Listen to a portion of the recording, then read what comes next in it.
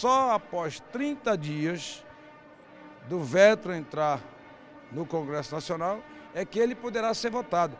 Como nós poderemos incluir na pauta um veto né, que foi, que foi é, publicado hoje? O presidente do Congresso, seja Renan, ou seja quem quer que seja, amanhã, tem que cumprir o regimento dizendo que você tem que publicar o veto, é, tem que publicar as matérias que vão ser objeto do, da, da, apreciação de veto 48 horas antes. Por lei, o financiamento é, empresarial de campanha já está declarado inconstitucional pelo Supremo.